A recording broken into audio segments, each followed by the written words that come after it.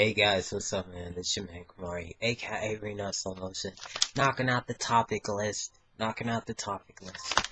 Um Alright, so topic number five. Someone sent me um will I ever get married? Wow. I never thought that somebody asked me would I ever get married. Um and then somebody wanted to be funny and asked, Would you marry a male or female?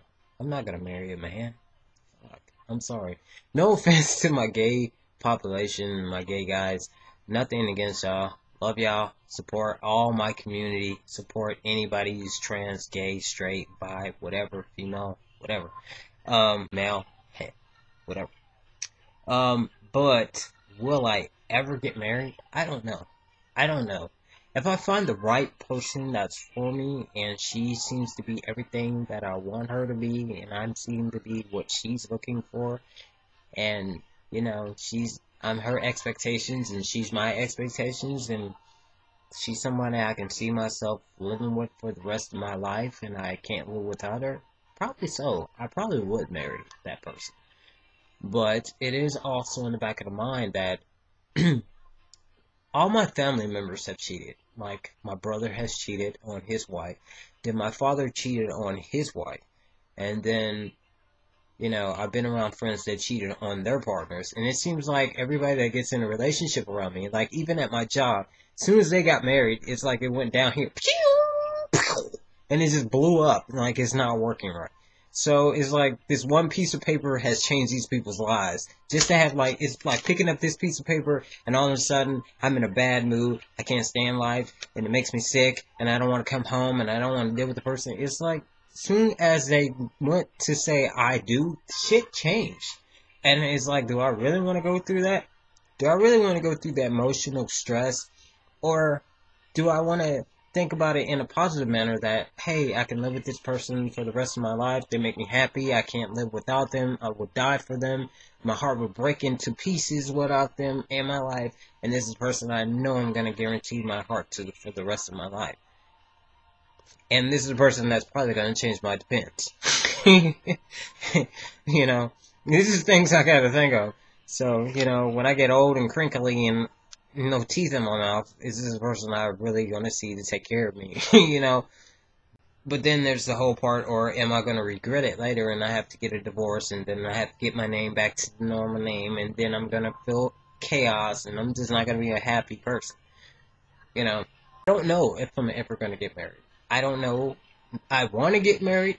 I want to get married to the right person. I want to be completely whole with that person. I want to fulfill every dream and every commitment that there is that life can guarantee for both of us. That there is no ins and outs about it. It's just pro, you know what I'm saying? Just positive. And that's what I want in my marriage. I don't want anything like this person to feel like I married them and then they don't want to be with me anymore and then I, I didn't marry them and now we got to get a divorce and we got to figure out paperwork and then I got split 50-50 with them and she take half my shit and you know I don't I don't know.